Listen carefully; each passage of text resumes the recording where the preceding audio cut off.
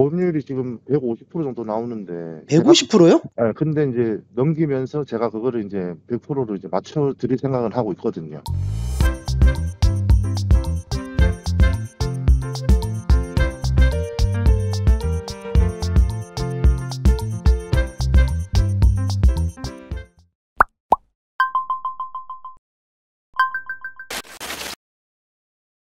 여보세요? 네, 디젤 트럭입니다.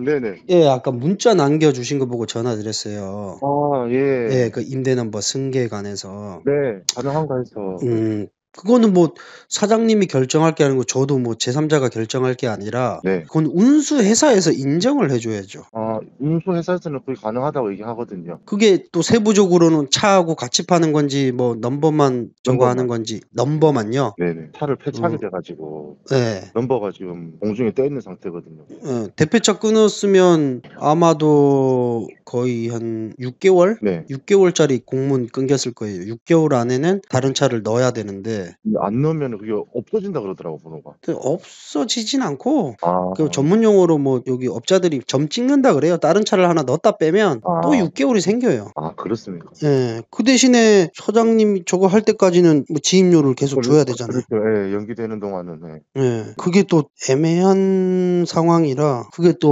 몇 톤에 연식하고 종류하고 맞아야 되니까 네 맞습니다. 네. 5톤에 지금 뭐 6년씩인데 5톤. 어, 06년이면 연식은 괜찮네요. 그 위로 네. 달면 되니까. 예, 예. 5톤에 06년에 종류는 뭐예요? 종류라면 어떤 거를? 종류 카고 윙 냉탑 윙 윙이요 윙. 윙바디예요? 네 네. 그럼 카고도 상관없을 거고 경기 남바예요? 아닙니다. 저 경남입니다. 경남. 경남 남바예요? 네 네. 음, 보험료율은 몇 프로예요? 보험료율이 지금 150% 정도 나오는데 150%요? 제가, 네 네. 제가 타면서 좀 올라갔거든요. 아, 그럼 누가 받아요? 그 남바를 그러니까, 받을 예. 사람이 없죠. 아, 근데 이제 넘기면서 제가 그거를 이제 100%로 이제 맞춰 드릴 생각은 하고 있거든요. 음, 네네. 100%로. 제가 저, 저 때문에 올라갔으니까 그거를 그렇죠. 뭐 보험 보험사에 그 뭐 130 몇만 원인가 주면은 뭐 다시 100%로 맞춰진다 그러더라고요.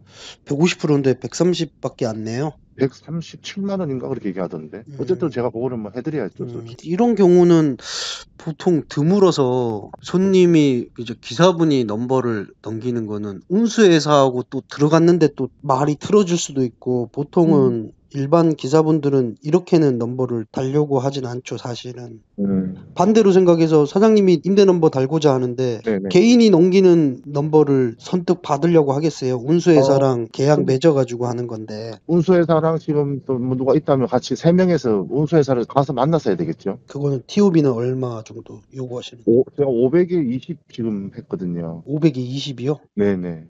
TOB도 좀 세요. 그렇습니다. 지금 요새 밖에 얼- 밖에들 다 지금 350, 400이에요. 그 정도밖에 안 해요. 예. 제가 한 사장님은 저- 예전에 달았으니까 그, 그 금액이겠죠. 아, 저도 근데 똑같은 시기였거든요. 제가 그 직장 생활을 하면서 네. 회사에 달려있던 넘버를 제가 아니, 상식적으로 밖에서 달면 400이면 다는데 누가 500 주고 달아요. 그러면 말이 안 되는 거잖아요. 뭐 저는 이제 처리하는 게 지금 급한 상황이라서 뭐 차도 네. 없고 음. 그래서 뭐 일단은 혹시나 또 제가 메모해 놓고 네네. 뭐 그런 그런 내용으로 뭐 다른 사람이 있으면 연락을 한번 드릴게요. 아, 네, 감사합니다. 예, 예. 네네. 네.